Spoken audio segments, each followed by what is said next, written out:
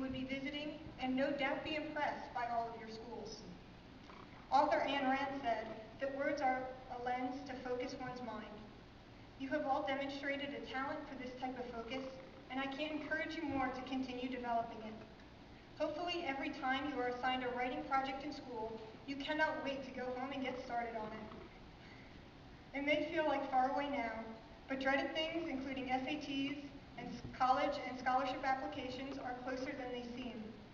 Essays meant to evaluate your writing skills and ability to get messages across clearly and creatively are major components of these applications. Pick it up. Go ahead. You gotta read it.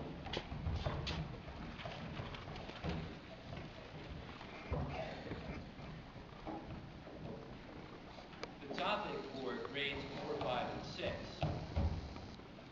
As we look forward to Pope Francis's visit to our area next fall for the World Meeting of Families, write an essay to the Pope explaining how your Catholic school family shows that it is a community of faith, knowledge, and service.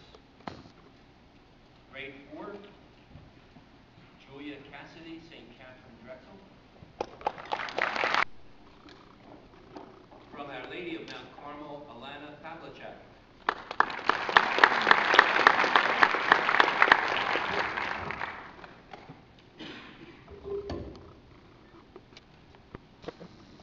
Pope Francis, welcome.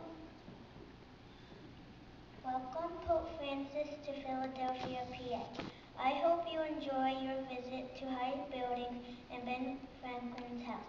More importantly, I would like to show you how my school, school Our Lady Mount Carmel helps the community nursing home, Briarleaf Nursing Home in Doylestown, PA.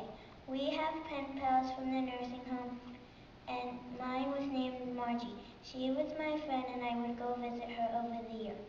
We would go. We would go with my class and bring gifts and cookies, and then we would. Then we would go at Christmas time and to sing with the Girl Scouts. This last week, when I went, Margie was gone. I was very sad, and I met a friend, Pat. She was glad I was there. She told me I was a blessing to her. And I held her hand, and it was nice to share the gifts and songs with Jesus up above and with the nursing home which I love. Sincerely, Alana Pavlik.